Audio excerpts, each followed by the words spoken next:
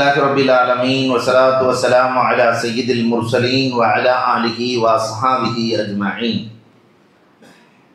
قال الله تعالى في القرآن العظيم والفرقان المجيد بعد أعوذ بالله من الشيطان الرجيم. بسم الله الرحمن الرحيم. قد أفلح المؤمنون الذين هم في صلاتهم خاشعون. وكان النبي صلى الله عليه وسلم الصدق ينجي والكذب يهلك أو كما قال عليه الصلاة والسلام صدق الله مولانا العظيم وصدق رسوله النبي الكريم ونحن على ذلك من الشاهدين والشاكرين والحمد لله رب العالمين புகழ் அனைத்தும் அல்லா ஜல்ல ஷானபு தாலாவிற்கே உரித்தாகுக சாந்தியும் சமாதானமும் கண்மணி ரசூலுல்லாஹி ஸல்லல்லாஹு அலைஹி செல்லம் அவர்களின் மீதும் அவர்களை பின்பற்றிய உத்தம சத்திய சகாபாக்கள்.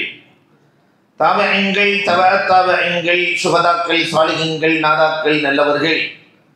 குறிப்பாக நம் அனைவரின் மீதும் அல்லாஹுவின் சாந்தியும் சமாதானமும் என்றென்றும் நின்று நிலவட்டுமாகும் அல்லாஹ் ரபுலாலமி இந்த இரண்டாம் பத்திலே கிடைக்கிற பாவ மன்னிப்பை நம் அனைவருக்கும் நசீபாக்கி தருவானாக.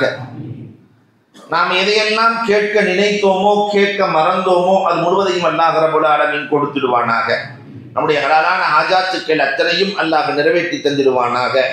அல்லாஹ் ரபுல் ஆலமீன் நமக்கு சாதகமான ஆட்சி அதிகாரத்தை தந்திடுவானாக. லைலத்துல் கதிரினுடைய இரவை நமக்கு கிடைக்க செய்திடுவானாக என்று துவா செய்தவனாக. வெற்றியின் ஃபார்முலா என்ற தலைப்பிலே ஒரு சில செய்திகளை உங்களோடு நான் பகிர்ந்து கொள்ள ஆசைப்படுகிறேன். மார்க்க அடிப்படையில் வெற்றியாளர்களுக்கு சாதனையாளர்களுக்கு என்ன தேவை? என்பது குறித்து குரான் ஹதீசனுடைய பார்வையோடு பார்த்தால் ஒரு பத்து பண்புகள் இருந்தால் அவர்கள் வெற்றியாளராக சாதனையாளராக மாறலாம். சாதனையாளர்களின் பண்புகள் என்றாலே ஒரு பத்து பண்புகள்.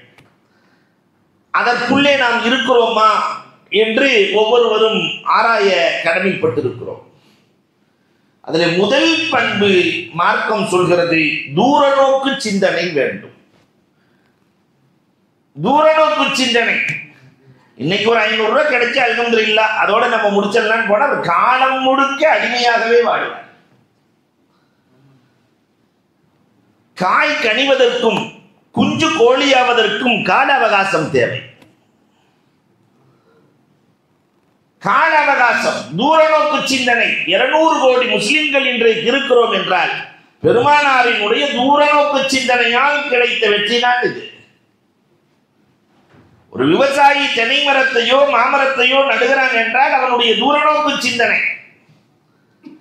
நடுபவன் எண்பது வயதுக்காரன். உடனே அது காய்க்காது. ஆனாலும் அந்த சந்ததிகளுக்கு பயன் தர வேண்டும். அவன் எண்ணம் தனக்கு அல்ல தன் சந்ததிகளுக்கு. இப்படி தூரநோக்கு சிந்தனையோடு உலகத்தில் வாழ்ந்தவர்கள் காலத்தால் அழிக்க முடியாத வெற்றியாளர்கள்.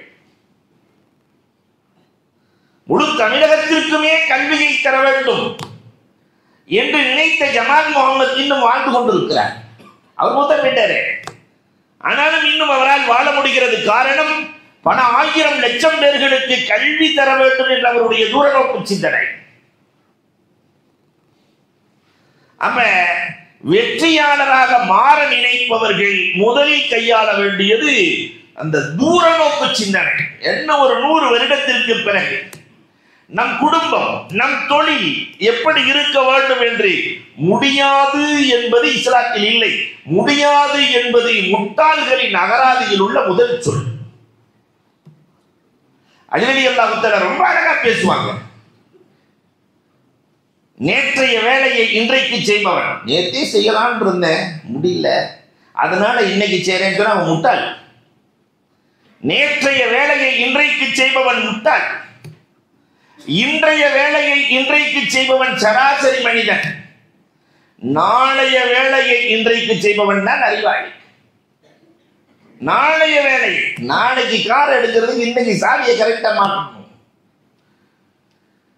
எல்லா இபாதாத்துக்களும் அதுதானே நாளைய சொர்க்கத்திற்கு இன்றைய வேலை. அப்ப அன்புக்குரியவர்களே சாதனையாளர்களாக வெற்றியாளர்களாக மாற யாருக்காவது ஆசை இருந்தால் அவர்களுக்கு தூரநோக்கு சிந்தனை வேண்டும். கண்மணி நாயகம் செல்லல்லாம் அலைஹி செல்லத்தை போல உமர் அலி அல்லாஹு போல உமர் அப்துல் அசீஸ் ரஹமத்துல்லாஹி தாலாலை என்பவர்களை போல இலக்கு தூரமாக இருக்க வேண்டும். இது உலகத்தில் இருக்கிற எல்லா சமூகங்களும் கடைபிடிக்கிறது நம்மால் மட்டும்தான். அழுந்துலாம் பிரியாணி சாப்பிட்டோமா முடிக்கும் இல்லையா? ஒருவர் நம்மிடத்திலேயே சொல்லுகிறார் முட்டாய் கம்பெனி வச்சிருக்கிறார் என்கிட்ட வேலை செய்கிறவன் என்னோட நல்லா இருக்கிறாங்கிறார். நம்ம வாழ்க்கையில் முன்னேற முடியுமா? என்கிட்ட வேலை செய்கிறவன் எட்நூறுரூவா சம்பாதிக்கிறான். லாபம் எட்நூறுரூவா சம்பாதிக்கிறான். எனக்கு லாபம் அறுநூறுவா வருது. என் வேலை செய்கிறவனுக்கு எட்நூறு எனக்கு அறுநூறு. பிறகு எதுக்கு நீங்க அவனை வேலைக்கு வச்சிருக்கிறீங்க? நீங்கள் அந்த வேலையை செஞ்சிடலாம்ல. அதுக்கு அவர் சொன்ன பதில் தான் நல்ல பதில். ஒரு நாளைக்கு என்னை ஆறு தடவை ஏழு தடவை முதலாளி முதலாளி கூப்பிடுறான். அதனால வேலைக்கு வச்சிருக்கேன்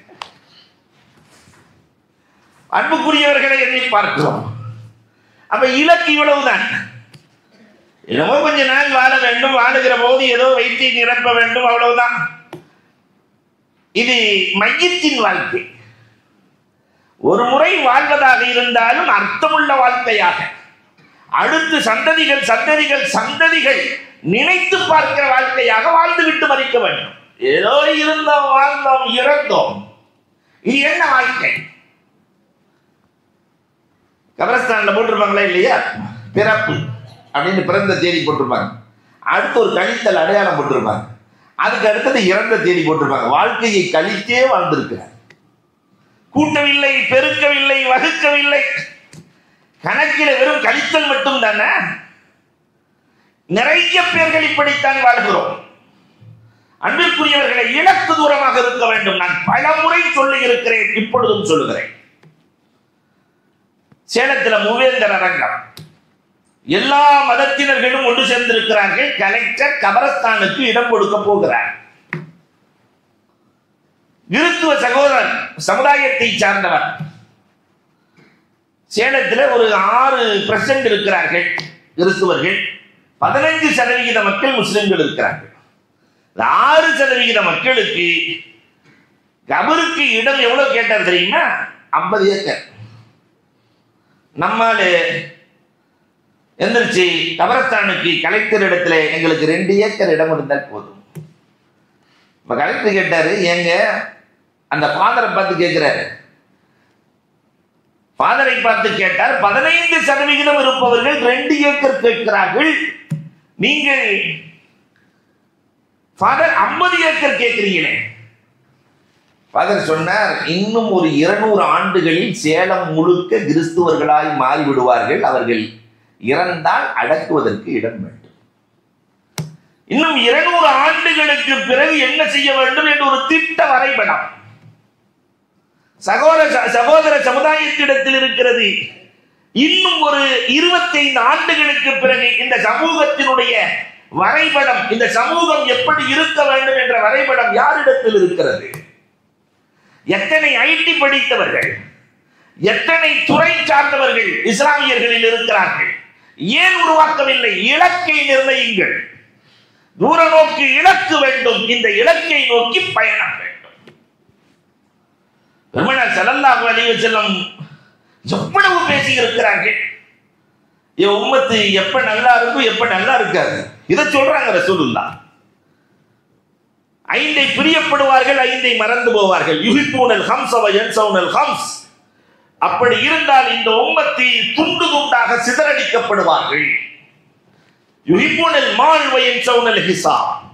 பொருளாதாரம் வேண்டும் என்று ஆசைப்படுவார்கள் அதற்கு கேள்வி கணக்கு இருக்கிறது என்பதை மறந்து போவார்கள். யுகிப்புன துன்யாவை யன்சவுனல் ஆகிரா. துன்யாவில் வாழ வேண்டும் என்று ஆசைப்படுவார்கள் மரணத்தை மறந்து போவார்கள். யுஹிப்புனல் ஹயாத் என்சோனல் மமாத் ஹயாத்தை புரியப்படுவார்கள் மோத்தி மறந்து போவார்கள் யுகிப்பூனல் குசூர் என்சோனல் குபு வாழுகிற போது ஒரு நல்ல பங்களா வேணும். ஒரு நல்ல வீடு இருக்கணும்னு ஆசைப்படுவாங்க. கபரில் நமக்கு நல்ல வீடு வேண்டுமே என்பதை மறந்து போவார்கள். யுஹிப்மூனல் ஹல்க வயல்சவுனல் ஹாலிக். படைப்பினங்களை பிரியப்படுவார்கள் படைத்தவனை மறந்து போவார்கள். இப்படி வருகிற போது இந்த உம்மத்து சிதறி போவார்கள். எவ்வளவு தூர நோக்கோடு பெருமானார் பேசுகிறார்கள்? பண்புக்குரியவர்களே முதலில் வெற்றியாளனுக்கான முதல் முக்கிய அடையாளம் தூரநோக்கு பார்வை. இரண்டாவது தன்னம்பிக்கை வேண்டும். அல்லாஹ் அக்பர். தன்னம்பிக்கை யானைக்கு தும்பிக்கை எவ்வளவு முக்கியமோ மனிதனுக்கு நம்பிக்கை முக்கியம். என்னால முடியாதுன்னாக்கா முடிஞ்சு போயிடுவான். எறும்புகளுக்கு இருக்கிற தன்னம்பிக்கை மனிதனுக்கு இல்லையே. ஆயிரம் முறை விழுந்தாலும் மீண்டும் ஏறும். ஆயிரம் முறம் தோற்றாலும் மீண்டும் ஏறும். ஒரு தடவை தோத்தாலே துவண்டர்றானே இல்லையா? எவ்வளவு தன்னம்பிக்கை? பெருமனார் கடல்லாக அடிவ செல்லம் வைத்திருந்தார்கள். இந்த அரபி பாடத்தில் ஒரு கதை ஒன்று வரும். யானை. மன்னன் வளர்க்கிற யானை எப்படி இருக்கும்? அந்த யானை பலவேறு வெற்றிகளை தீர்மானித்த யானை. இறை தேடி செல்கிறது. காட்டிலே போய் ஒரு நல்ல சேத்துக்குள்ள மாட்டியது. உள்ளே போய் கொண்டு இருக்கிறது யானையை கூட்டி என்னென்னவோ செஞ்சு பார்க்கிறான். ஒன்றும் நடக்கல. யானையை காப்பாற்ற பல்வேறு வழிகள் உள்ளே சென்று கொண்டே இருக்கிறது. அந்த காண்டு வழியா வந்த ஒரு துறவி சொன்னாரா? இந்த துறவிட்ட மன்னர் கேட்டிருக்கிறாரு இந்த யானையை காப்பாற்றவே முடியல என்னென்னவோ செஞ்சு பார்க்குறோம். அந்த துறவி நாலு வரி சொன்னார் வேறொன்றும் இல்லை நீங்கள் படையெடுப்புக்கு அந்த யானையால் தானே வெற்றி கிடைக்கிறது? படையெடுப்புக்கு செல்லுகிற போது எதை நீங்கள் வாசித்தால் அந்த யானை தன்னம்பிக்கை பெறுமோ? இந்த பாண்டு வாசிப்பாங்க. அந்த காலத்தில் என்ன குழாய வச்சு ஊதுவாங்க. அரபுகள் அந்த ஊதுகிற போது அதற்கு தன்னம்பிக்கை கிடைக்கும். அதனால் வெற்றி எல்லாத்தையும் சுழற்றி அடிக்கும். அந்த பாண்டை இப்பொழுது வாசியுங்கள். அந்த ஊதுகுடலை வைத்து போர்க்களத்திலே எதை வாசிப்பீர்களோ அதை வாசியுங்கள். அப்ப யானைக்கு முன்னாடி போய் அந்த சேத்துல கிடக்கிற யானைக்கு முன்னாடி ஊத அதனுடைய தன்னம்பிக்கை எழுகிறது. சேறுகளை எல்லாம் தூக்கி எறிந்து விட்டு புறப்படுகிறது. இதை கொண்டுதான் இந்த சமூகம் சேற்றில் மாட்டி இருக்கிறது நம் யானைகள் யானை படம் கொண்டவர்கள் ஒருத்தர் சாதாரண அல்ல இல்லை. அவ்வளவு மூளை. இதையெல்லாம் அடுத்தவர்களுக்கு விற்பனை செய்துவிட்டு முசாபிராகவே வாழ்க்கையில் வாழ வேண்டும் என்று நினைக்கிற இளவர்கள் நிறைய பேர் இருக்கிறார்கள். அத்தனையும் அடுத்தவனுக்கு கடவு கொடுத்துட்டு இவர் அப்படியே இருப்பார். நம் சிந்தனை நம்முடைய உழைப்பு நம்முடைய தன்னம்பிக்கை ஆயிரம் பேர்களுக்கு என்னால் வேலை கொடுக்க முடியும் என்று நினைத்தார். புருஸ்லி வரல பார்த்தீங்களா புருஸ்லி புருஸ்லியை தெரியாத ஆளே இல்லைல்ல அவனுடைய தன்னம்பிக்கை எவ்வளவு தூரம் அவனை உயர்த்தியது? இன்னும் ஒரு ஐந்து ஆண்டுகளில் ஆயிரம் மில்லியன் சம்பாதிப்பேன் என்று முன்னால் அவன் எழுதி கையெழுத்து போட்டு கொடுத்தான். புருஸ்லி ஒண்ணுமே இல்லாம போய். அல்லாஹ் அக்பர் ஐந்தாண்டு அல்ல மூன்றே மூன்றாண்டுகளில் அதைவிட பன்மடங்கு பல ஆயிரம் மில்லியன் டாலர்களை சம்பாதித்தானே? அவனிடத்தில் இருந்த தன்னம்பிக்கை. இன்னைக்கு நம்ம சமூகத்துக்கு நம்ம இளைஞர்களுக்கு அந்த தன்னம்பிக்கை வேண்டுமா இல்லையா? தன்னம்பிக்கை இல்லாத இளவல்கள். நாம் படிச்சுட்டு என்ன செய்ய போறோம்னு தெரியலையே. வேலை கிடைக்குமா கிடைக்காதா? நீ ஏன் வேலைக்கு போற? வேலையை கொடு. வேலை கிடைக்குமா கிடைக்காதா? அல்லாஹ் அக்பர். எத்தனை ஐடி துறையை சார்ந்தவர்கள் ஒரு பள்ளியில் தொழுகிறார்கள் ஒன்றாக இணைந்து ஒரு கம்பெனியை உருவாக்கி உலகத்தையே தன் கைக்குள் வைத்துக் கொள்ளுகிற ஆற்றலை ஒரு பள்ளி உருவாக்கி கொடுக்கிறது. ஆனால் பார்த்து நாலு பல்ல காட்டிட்டு போயிட்டு முடிஞ்சு ஹாய் ஹாய் பாய் பாய் இது வாழ்க்கை. ஒன்றிணைந்தார் எத்தனை உருவாக்கங்கள்? நாலு முறை கீழே விழலாம். ஐந்தாவது முறை அடிக்கிற அடி உயர்கிற உயரம் வானத்தை தொடலாமே உச்சத்தை தொடலாமே ஆனால் இந்த உம்மத் அதற்கு தயாராகவே இல்லை. நம்பிக்கையில்லா சமூகம். ரெண்டு கை ரெண்டு கால் இல்லை. ரெண்டு கை ரெண்டு கால் இல்லை. என்ன செய்ய போறாரு இவர்? இல்லையா? அந்த நிக் வரலாறு பார்த்தீங்கன்னா ரெண்டு கையும் இல்லை ரெண்டு காலும் இல்லை. கொண்டாடி கொண்டு வந்து உட்கார வைக்குது. தன்னம்பிக்கை பேச்சு. அல்லாஹ் அக்பர். அந்த மோட்டிவேஷன் எனக்கு ரெண்டு கை ரெண்டு காந்தான் இல்லை. ஆனால் என் மூளை ரொம்ப ஷார்ப்பாக இருக்கிறது. என்னால் முடியாதது எதுவுமே இல்லை என்று பேசுகிறானே. ஒண்ணுமே இல்லை. நமக்கு எல்லாம் இருந்து இன்னும். உட்காந்துருக்கனா இல்லையா? தங்கத்துக்கு நீ மாடு மேய்க்கத்தான் நல்லா அத்தாக்கார் சொல்லுவார் மாடு மேய்க்கிறதுனா ஈஸியா மாடு மேய்க்க மாடு மேய்க்கிறது மாதிரி கஷ்டம் உலகத்தில் எதுவுமே இல்லை. மாட்டு பாசையில் பேசணும். அதே மாதிரி ஒரு மாதிரியா கத்தணும். அப்போ தான் மாடு கேட்டு இல்லாட்டி அது எட்டி வரைக்கும் இல்லையா? ரொம்ப கஷ்டம் மாடு மேய்க்கிறது. மாடு மேய்க்கிறத விட நம்பிக்கையோடு படிக்கிறதும் நம்பி உருவாக்குறதும் ரொம்ப ஈஸி அன்புக்குரியவர்களே கொஞ்சம் எண்ணி பார்ப்போம் இந்த தன்னம்பிக்கையை உருவாக்குகிற வேலைகளை நம்முடைய இளவல்களுக்கு கொடுத்தே தீர வேண்டும். நம்பிக்கை உள்ளவர்கள் வாழ்க்கையில் தோற்பதில்லை. கண்மணி ரசூலுல்லாஹி ஸல்லல்லாஹு அலைஹி செல்லத்தினுடைய அந்த நம்பிக்கை தான் தானும் நம்பி ரசூலை நம்பியவர்கள். மக்காவில இருந்து முற்றி யோசிச்சு பாருங்களேன். நம்ம நண்பனை உயிர் தோழனை கோயம்புத்தூரை விட்டுட்டு வா சென்னைக்கு போகலாம் வீடு வாசல்ல விட்டுட்டு வா பொண்டாட்டி பிள்ளைலாம் விட்டுட்டு வா வந்துருவேண்ணே உடன் பிறந்த இல்லையா? கூட பிறந்தவனும் வரமாட்டான். தோளோடு தோல் சேர்த்த நண்பன் நாம் அழைத்தால் வருவானா. ஆனால் பெருமானார் அழைக்கிறார்கள். சுஹைப ரூமியை பிடித்து இழுக்கிறார்கள். சுஹைப் ரோம் நாட்டில் இருந்து வந்து எங்கள் ஊரிலே நீ சம்பாதித்தாய் மக்காவிலே. நீ போவதாக இருந்தால் நீ சம்பாதித்த அத்தனையும் சுயப ரூமி பயங்கர பணக்காரர் அத்தனையும் கொடுத்துட்டு முகமதோட போ. இதெல்லாம் வேணாம். இந்த நம்பிக்கை. முகம்மதோடு சென்றால் வெற்றி கிடைக்கும். அந்த தன்னம்பிக்கை ஒரு குழுவுக்கு வந்துவிட்டால் அந்த குழு வாழ்க்கையில தோற்கவே தோற்காது பெருமானார் அந்த பாடத்தை அழகாக உம்மத்திற்கு கொடுக்கிறார்கள். ஆனால் எடுத்துக்கொண்ட சமூகம் தான் இன்றைக்கு இல்லாமல் இருக்கிறார்கள். மூன்றாவது வெற்றிக்கு மிக முக்கியமான விஷயம் விடாமுயற்சி. முடிஞ்ச வரைக்கும் முயற்சி செய்கிறேங்கிறவன் முட்டாள். முடியும் வரை முயற்சி செய்கிறேன். என்னால் முடிஞ்ச வரைக்கும் நான் முயற்சி செஞ்சு பார்க்குறேன். அப்படின்னா நீ முட்டாள். முடியும் வரை முயற்சிப்பேன். முடியாது என்பதே வரக்கூடாது. ஒரு இலக்கை தீர்மானிக்க வேண்டும். சில பேர் பார்த்தாங்க இங்கிட்ட ஒன்று அங்கிட்ட ஒன்று அந்த சேத்துல ஒரு காலு ஆத்துல ஒரு காலம்லாம் சொல்லுவாங்களா இல்லையா? நீங்கள் எழுதி வைத்துக் கொள்ளுங்கள். இரண்டு மான்களை ஒன்றாக வேட்டையாட செல்லுகிற சிங்கம் ஒரு மானை கூட பிடிக்க முடியாது. ரெண்டு மானை துரத்துச்சுன்னு வச்சுக்கோங்க. ரெண்டு மானை திறத்துகிற சிங்கம் ஒரு மானை கூட பிடிக்க முடியாது. இலக்கு இரண்டு பக்கம் போனால் ஒண்ணுமே ஜெயிக்க முடியாது. நம்ம இங்க ஒண்ணு அங்க ஒண்ணு அங்க ஒண்ணு அங்க ஒண்ணு. இப்படியே சிந்திச்சாக்கா எதுக்கு நடக்காது? இலக்கை வைத்து விடாமுயற்சி கண்டிப்பாக அது தோல்வியை தரவே தராது.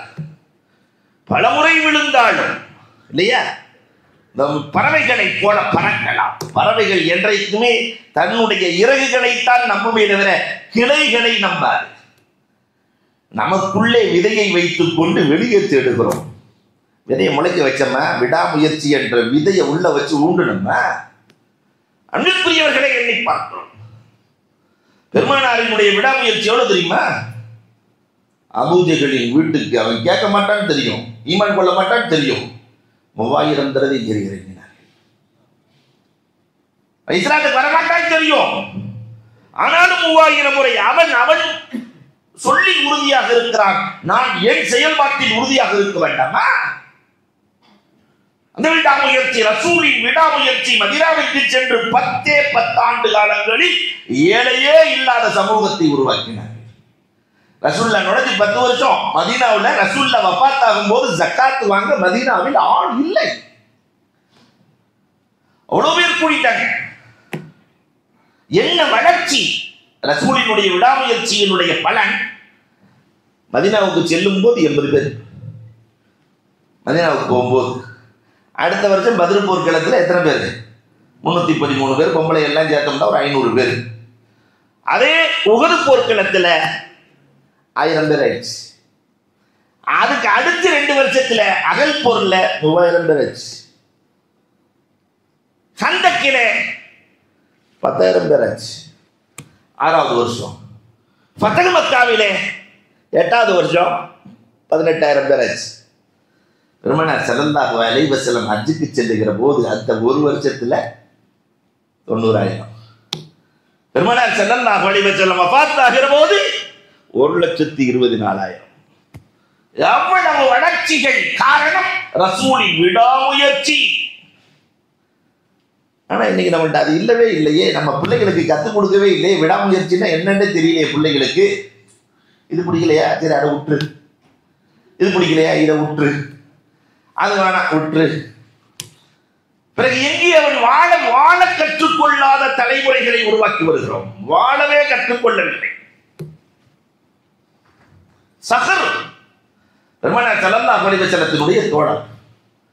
தாய் போர்க்களம் தாய் போர்க்களம் ரசூல்ல போனாங்கிறாங்க. வேணாம் வெற்றியை தொடாமல் நான் வரமாட்டேன். ரசூல்லாவை சிரிக்கிறாங்க. என் தோழரினுடைய விடாமுயற்சி வெற்றியை கொடுக்கும் என்றார். ஹைபர் பொருட்களை முதல் நாள் கொடி அபுபக்கர் அலியல்லாவின் கரத்திற்கு செல்லுகிறது. வெற்றியும் இல்லை தோல்வியும் இல்லை. இரண்டாவது நாள் உமர் அலி அல்லாவின் கரத்திற்கு செல்லுகிறது வெற்றியும் இல்லை தோல்வியும் இல்லை. மூணாவது நாள் அலி அலி அல்லாட்ட கொடுக்கும்போது அலியே பெருமானார் எனக்கு கண் வேதனையாக இருக்கிறது நாயகனி. அலி அலி அல்லா சொல்றாங்க. அப்படி கண்ணை தடவி கொடிய கையில கொடுத்தாங்க. அலியின் விடாமுயற்சி கோட்டை கதவுகளை ஒரு கையிலே கேடயமாக வைத்துக் கொண்டு வெற்றி வாகையோடு அணி வெளியே வந்தார்கள். வரலாறு பேசுவோம். விடாமுயற்சி நாம எடுத்த காரியத்துல ஜெயிக்க தீர வேண்டும். என்னங்க? இந்தியாவினுடைய சுதந்திரத்தை பத்தி எழுதும் போது எழுதுறாங்க ஒரு கிழமை. இல்லையா? எத்தனை வயசுல சுதந்திரம்? இந்த கிழமை. கையில ஒரு குச்சி கையில ஒரு தடி கூட சில கை தடி அவ்வளவுதான். ஒரு பத்து பேர் நூறு பேர் ஆச்சு நூறு பேர் ஆயிரம் ஆச்சு. இந்தியாவுக்கு சுதந்திரம் கிடைத்ததே அந்த வயதான கிழவனால் கூட விடாமுயற்சி செய்தால் வெற்றியை ஈட்ட முடியும் என்ற பாடம் நாம் படித்திருக்க. ஆனால் இங்கே விடாமுயற்சி என்ற இந்த கோட்பாட்டை பெருமானார் நமக்கு கொடுத்திருக்கிற கோட்பாட்டை கையில் எடுக்கிற இளவல்கள் இல்லை. பெருமனார் அக்பர். பெருமானார் எல்லா போர்க்களங்களும் இந்த மூணையும் சேர்த்து தான் இருக்கும். பெருமானாரினுடைய தூரநோக்கு பார்வை இருக்கும். தன்னம்பிக்கை இருக்கும் அதை போல விடாமுயற்சி. நாலு சக்திகள் ஒன்னா சேர்ந்து தாக்குச்சுன்னா எப்படி இருக்கும்? அதான் அகல் போதும் நாலு சக்திகள் ஒன்னா சேர்ந்து அடிக்கிறாங்க. ஒரு பக்கம் யூதர்கள் ஒரு பக்கம் நசாராக்கள் ஒரு பக்கம் குறைச்சிகள் ஒரு பக்கம் சுற்றுப்புறத்தில் இருப்பவர்கள் எல்லாம். அப்ப ரசூலினுடைய அந்த தூர நோக்கு பார்வை. அவர்களுடைய தன்னம்பிக்கை விடாமுயற்சி ஃபர்ஸ்ட் யாரை தட்டுறது? ரசூல் சல்லல்லா இடத்துல உட்காந்து மஷூரா பண்ணும்போது எல்லா ஆளுக்கு ஒரு கருத்தை சொல்கிறாங்க பெருமானார் சல்லல்லா படிவ செல்லம் எது வலுவான சக்தி? எவன் மூட்டி விட்டுக்கிட்டே இருக்கிறான். வலுவான சக்தின்னு பார்த்தா குறைசிகள் தான். ஆனால் அந்த குறைசிகளுக்கு எப்பயும் பெட்ரோலை ஊதிக்கிட்டே இருக்கிறவன் காலில் எண்ணெயை ஊற்றிக்கிட்டே இருக்கிறது யாருன்னா இவங்க. அப்படி செய்ய இப்படி செய்ய நான் அதை தர்றேன் நான் இதை தர்றேன் என்று இல்லையா? சில பேருக்கு எப்பயுமே எரிஞ்சுக்கிட்டு இருக்கிற நெருப்புல எண்ணெய் ஊத்துறது இல்ல இன்னைக்கெல்லாம் பெட்ரோல். அதை ஸ்டாவுங்கிறாங்க யூதர்கள் செய்து கொண்டிருக்கிறார்கள். பெருமனார் ஸல்லல்லாஹு அலைஹி செல்ல முதலில் யூத சக்தியை அழிப்போம். அந்த அழிச்சதனுடைய விளைவுதான் யூதனை அடிச்சவன குறைசி தானா படுத்தான் அமாரியங்கள் சூழ்புறத்தை சார்ந்தவர்கள் நசாராக்கள் போரே செய்யாமல் பெருமானாருக்கு வெற்றி கிடைத்ததே. அப்ப இந்த மூன்றும் இருந்தால் தொட்டது அத்தனையிலும் வெற்றி. நாலாவதாக தைரியம். மன வலிமை வேண்டும். நிற- மனதளவிலே நிறைய கோழைகளை உருவாக்கி வருகிறோம். கோழைகள். பிசினஸ்ல போய் உட்கார்ந்தோம்னா மார்க்கெட்டுக்குள்ள போய் உட்கார்ந்தோம்னு சொன்னாக்கா அந்த மன வலிமை இல்லையா? அந்த தைரியம் பாய் சுத்தி வர வேண்டாமா? சாபாக்கல்ல உஸ்மான் அலி அல்லாஹுத்தல மார்க்கெட்டுக்குள்ள நுழைஞ்சா அந்த மார்க்கெட்டை தீர்மானிக்கிற மாமனிதராய் மாறி இருக்கிறார்கள். இதுக்கு முன்னாடி இருந்த நம்முடைய முன்னோர்கள் எல்லாம் மார்க்கெட்டுக்குள்ள போன அவங்கள தீர்மானம். எத்தனை வரலாறுகள் கோவையில் சொல்ல எனக்கு அது இல்லை அந்த மன வலிமை போச்சே. இந்த தைரியம் இல்லையா? இன்னைக்கு நிறைய பேர் அப்செட் ஆயிடுறானே. நம்ம பையன் போனோன்னா வண்டி சாவியை கேட்பான் பார்ப்பான் இல்லைன்னொன்னு ச்சே வண்டி சாவி வச்ச இடத்துல இல்லைன்னொன்னு அன்னைக்கு காலேஜுக்கு போக மாட்டேன்ருவான். ஒரு மாதிரியா இருக்கு நான் அப்செட் ஆகிட்டேன் இதெல்லாம் அப்புறம் எப்படி வாழ்கிறது பரிச்சை பேப்பர் பார்த்தவொடனே படித்தது எதுவுமே வெள்ளையே தலையில் கழிக்கலாம் சே அப்படின்னு முடிஞ்சுச்சு. அந்த சேங்கிற வார்த்தைனா இருக்கிறது யோக மட்டமான வார்த்தை. அதை அதிக பயன்படுத்துபவர்கள் நான் நினைக்கிறேன் இஸ்லாமியர்களாகத்தான் இருக்கும் என்று இல்ல அம்மாட்ட சே போடுற பிள்ளைகள் எத்தனை பிள்ளைகள் வாழ்க்கையில முன்னேற முடியுமா? அட்டச்சே அப்படிங்கிறான். அத்தனைக்கும் முடியாது முடியாது முடியாது. தைரியத்தை எப்பொழுது வரவழைக்க போகிறோம்? அல்லாஹ் அக்பர். நாயகமும் நாயக தோழர்களும் உருவாக்கிய தைரியம் இன்றைக்கு இந்த உம்மத்திற்கு பாடமாய் அமைந்திருக்கிறது. முதல்ல ரசூல்ல கொடுத்தது மன வந்து என்னென்னவோ சொல்லி பார்க்குறாங்க. முகமது இதெல்லாம் கொண்டு போக முடியுமா? இந்த மார்க்கத்தெல்லாம் அவ்வளோ தூரம் தூக்கிட்டு போக முடியுமா? ஒரு கையில் சூரியன் மறுகையில் சந்திரன். ரெண்டை கொடுத்தல் இது நடக்குமா? என் கொள்கை விட மாட்டேன். என்ன தைரியம்? என்ன தைரியம்? அல்லாஹ் அக்பர். என்னென்னவோ சொல்கிறார்கள். பொண்ணை தருகிறேன் பொருளை தருகிறேன் பெண்ணை தருகிறேன். உங்களுக்கு வேண்டுமா மண் வேண்டுமா நிலம் வேண்டுமா தருகிறேன். எதையும் நான் தர தயாராக இருக்கிறேன். பெருமானாரினுடைய தைரியம் கொண்ட கொள்கையை விட மாட்டேன். தைரியத்தோடு பெருமானார் செல்லல்லா அலைஹி செல்லம் களமிறங்கினார்கள் இல்லையா? சகாபாக்களினுடைய வரலாறுகள்லாம் சில வரலாறுலாம் திகைப்படைய செய்து ரோம் நாட்டை எதிர்த்து செல்லுகிறார். ரிபன் ஆங்கர் ரோமிகள் டீ அப்பா மூணு லட்சம் பேர் படைகள். முப்பதாயிரம் பேரை கூட்டு போயிட்டு இருக்கிறார். அதுல அந்த முப்பதாயிரம் பேர்த்த எல்லாத்தையும் கொண்டு போய் ஒரு இடத்துல நிப்பாட்டிட்டு மன்னனை பார்க்க கழுதையில தானா போறார். என்ன தைரியம்? ரிபன் ஆம் இருக்கு. மன்னன்கிட்ட நான் போய் பேசிட்டு வரேன் ஆள் எப்படிப்பட்டாலும் தெரியுங்களா? நம்மள மாதிரிலாம் இல்லை. புல்தடிக்கு பயில்வான். கழுதையில உட்காந்து போனாலே கிடுகிடுன்னு வரான் கழுதையில போனால. போய் அப்படியே திடுன்னு ஆடி இறங்கி நடந்தான் போகணுங்கிறானுங்க. அதெல்லாம் முடியாது. மன்னனை சந்திக்கிற வரை கழுதெல்லாம் போவேன். பெருமானார் அந்த நாடோடியை விட்டு விடுங்க ஏன்னா பாலைவனத்திலிருந்து வந்தவங்க தானே நாடோடி தானே. மன்னர் சொல்றாரு ரோம் செழிப்பாக இருக்கிறது செழிப்பான பூமி. அந்த நாடோடியை விட்டு விடுங்கள். கழுதையிலேயே அப்படி போய் கழுதைய மண்ணை சாஞ்சிருக்கிற தலகாணியில கட்டினா மனுஷன். மன்னன் சாஞ்சிருக்கிற தலகாணியில கட்டுறதா இருந்தா? கட்டிட்டு அஸ்லிம் தஸ்லம். இஸ்லாம் மன்னன் நல்லா இருப்பேன் இல்லாட்டி நடக்கிறதே வேறுன்னு இருக்காரு.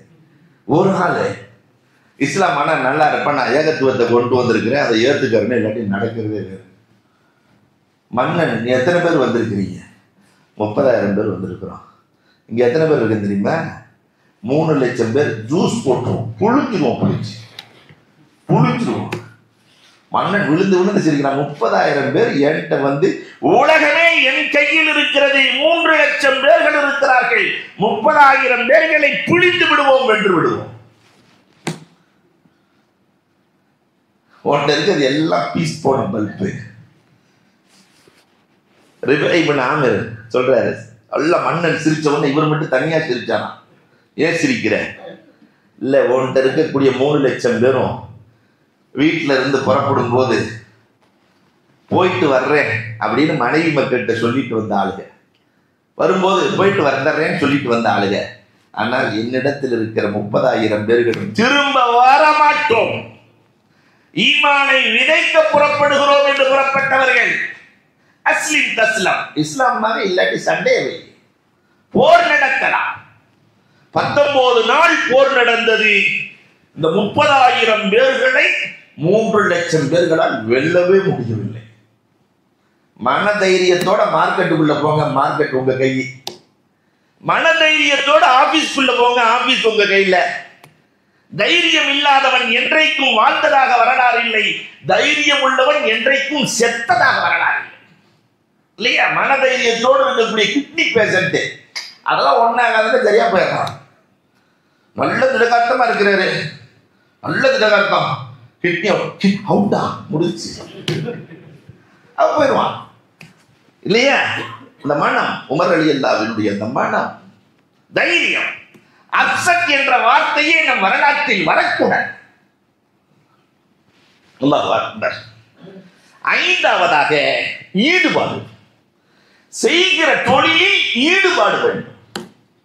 அப்படியே வேலைக்காரனை நம்பி கொடுத்துட்டு இவர் ஜாலியாக வந்து படுத்திருந்தாருன்னா அது இந்த காலத்தில் பத்தே நாளில் முடிஞ்சு இவர் கபரில் போய் படுத்துட வேண்டியதான் அவன் மொத்தமாக தூக்கிட்டு போயிடலாம் லாரியை வச்சு ஏற்றிடலாம் அந்த தொழிலில் ஈடுபாடு வேண்டும்.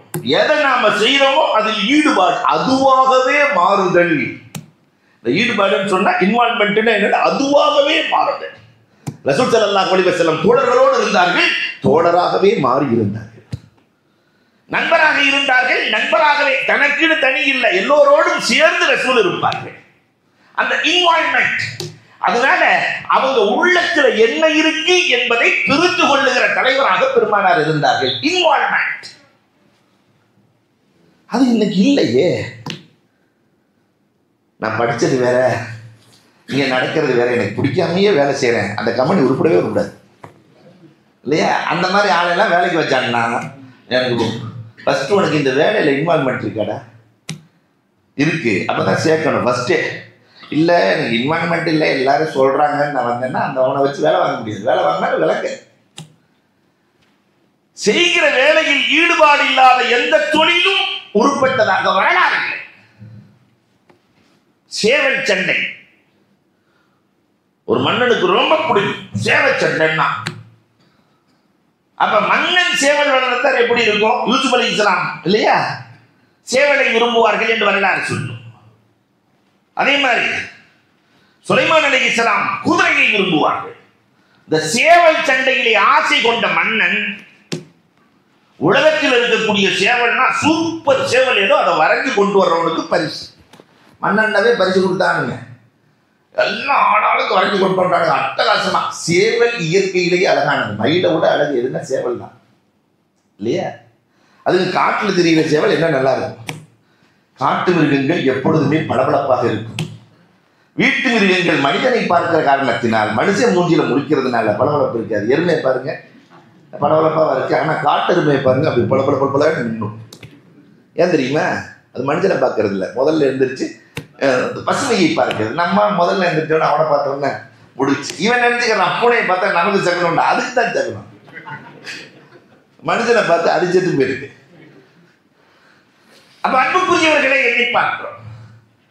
அந்த மன்னன் எல்லாம் கொண்டு வந்து மன்னன் கொண்டு வந்து பரிசுத்தாக உட்கார வச்சிருக்கிறாங்க. எல்லாம் வந்து வரைஞ்சி சூப்பர் சூப்பர் சேவல். ஏன்னா சேவல் ஒவ்வொன்றும் ஒவ்வொரு கலர் கொண்ட ஒரு கலர் தலை ஒரு கலர் இந்த ரெக்க ஒரு கலர் அதுக்குள்ள ஒரு கலர் ஆயிரக்கணக்கான இல்லையா? பல கலர்கள் வரைஞ்ச உடனே ஒரு பெரிய ஷேக் ஒரு கூப்பிட்டு இதில் நல்ல சேவல் எதுவோ அதுக்கு பரிசு கொடுத்துருங்க. நல்ல யார் வரைஞ்சிருக்கிறாங்களோ அவங்களுக்கு பரிசு கொடுங்க. அப்படி பார்த்துட்டு அப்படியா? இதுக்கு ஒரு டெஸ்ட் வைக்கணுமே. அந்த சேவை சண்டை நடக்குதா இல்லையா? அந்த இடத்துல கொண்டு போய் இந்த ஃபோட்டோலாம் வைங்க. சேவை சண்டை நடக்கிற இடத்துல எல்லா போட்டோவையும் வச்சாச்சு. சேவை அதுவாட்டி சண்டை போட்டுக்கிட்டு இந்த ஃபோட்டோவை எதுவுமே பார்க்கல. ஃபோட்டோ எதுவுமே அதுவாட்டி சண்டை போட்டுக்கிட்டு உங்கள் உங்க எவனுக்குமே பரிசு இல்லை. யாருக்குமே பரிசு இல்லையா?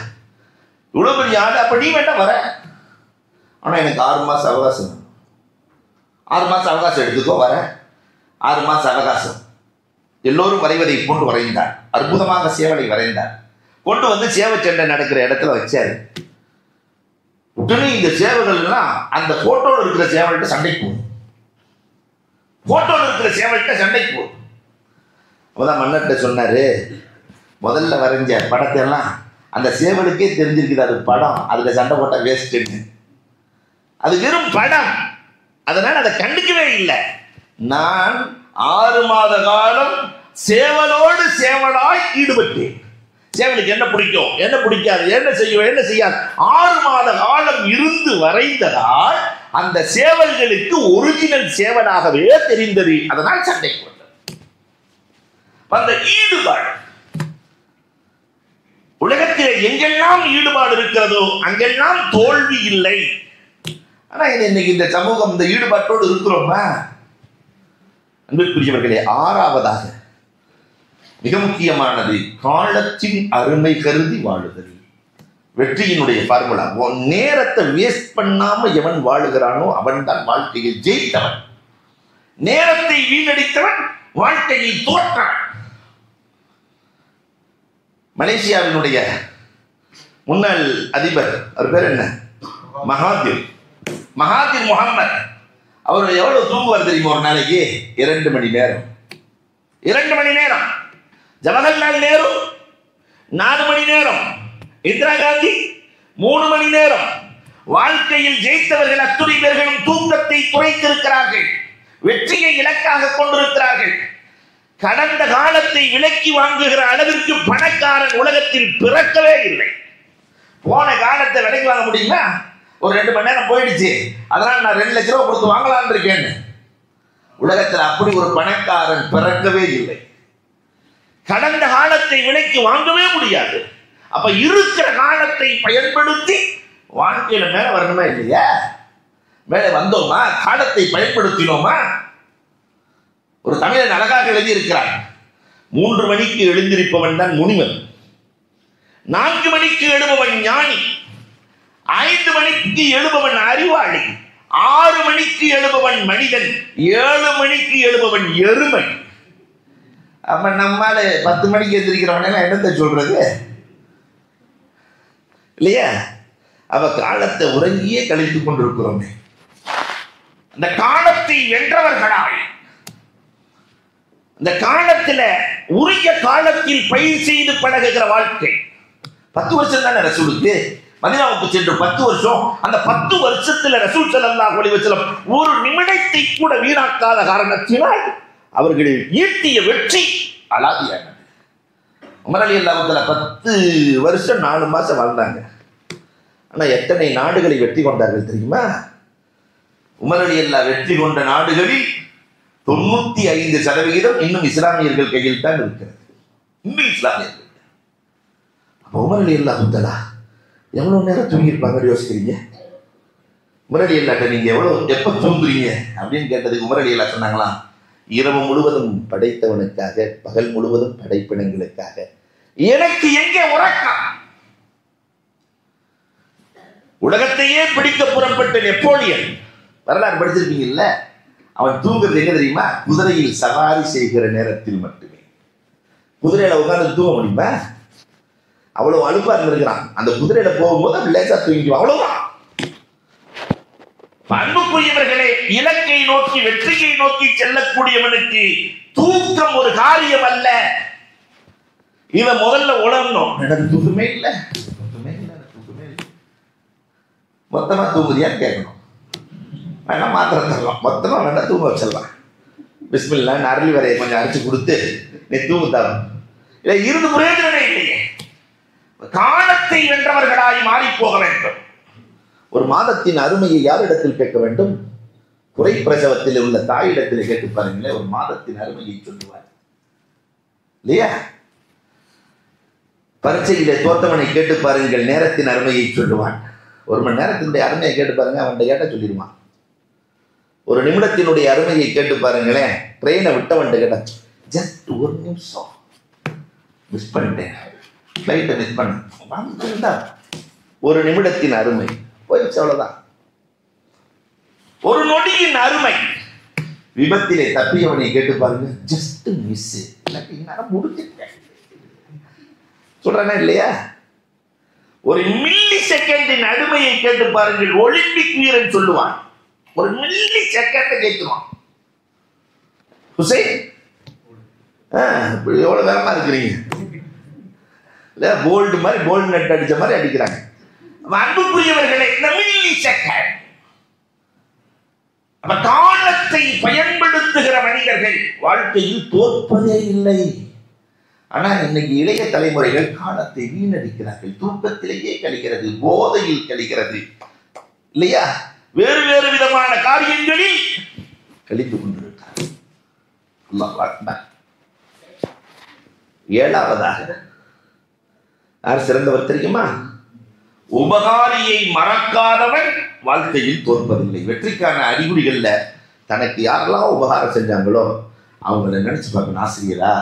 அந்த ஆரம்பத்தில் நம்ம எந்திரிக்கும் போது ஒரு சிலரின் அறிவுரை ஒரு சிலரின் உருவாக்கம் ஒரு சிலரின் உந்துதல் சில பேர் கொண்டு வந்து நிறுத்துறது. இதை மறவாதவன் வாழ்க்கையில் தோற்பதில்லை பெருமனா சிறந்தா வலிவச்சலம் தனக்கு உதவிய ஒருவரையும் மறந்ததில்லை. இன்னைக்கு ஒருத்தர் ஹயாத்தா வாழ்றாரு திருவண்ணாமலையில். ஆரம்ப காலத்தில் ரொம்ப கஷ்டம்.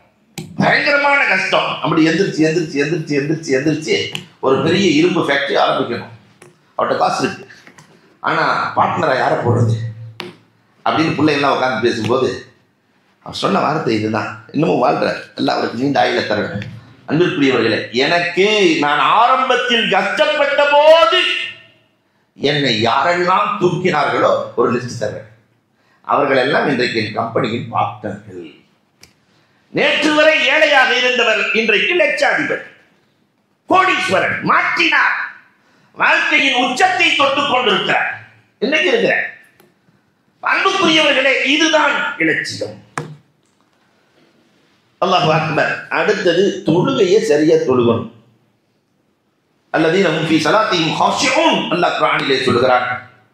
வீண் விரயங்களுக்குள்ளே செல்பவன் ஜெயிக்க முடியாது. குரானிலே அல்லாஹ் ரபுல் ஆலமின் சொல்லுகிறான்.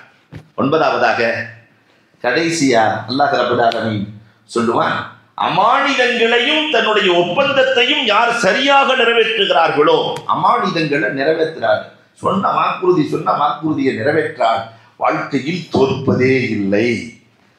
இந்த பத்தும் தான் வெற்றிக்கான இலக்கு. இதை அடைகிற வாக்கியத்தை அல்லாஹ் ரபுல் ஆலமீன் நம் அனைவருக்கும் நசீபாக்கி தருவானாக. அன்பிற்குரியவர்களே இன்றைய டிப்ஸ் உடம்பு வலி கைகால் வலி இப்படி வலியெல்லாம் இருந்துச்சுன்னா பெருமானார் சொன்னாங்க ஏழு தடவை.